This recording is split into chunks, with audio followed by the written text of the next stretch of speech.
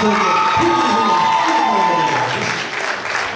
Let's say that for Bishop. God bless you on tonight. And to the host pastor of this church and to all of God's people. It's just good to be in the house of the Lord. Why don't you just look at somebody and say, I'd rather be here I'd rather than in this hospital in town.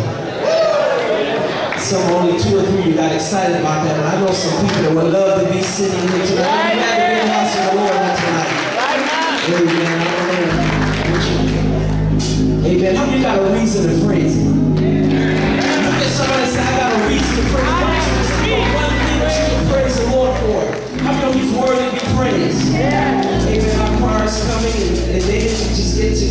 Tonight. They've been singing like this all day, and they sung on Friday. I thank God for this choir who helps me in ministry. Let's say amen for my choir, our choir, church's worship center. Amen. They can sing a selection. I've got a reason to praise Him. Now, if you all stand up, I might sing a verse. Are they sitting? I'm not going to sing. Never mind.